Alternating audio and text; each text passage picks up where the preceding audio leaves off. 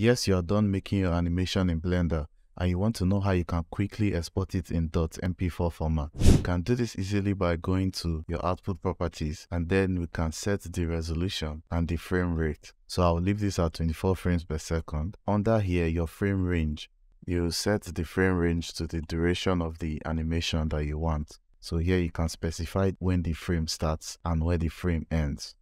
And when we come here to the output, you can specify where the file will be saved. And then we'll go to the file format.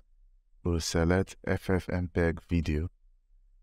And if you scroll down to your encoding, if you select this icon here, you can select H264 in MP4. And then you'll notice that the container will change to MPEG-4. Your video codec will be in H.264.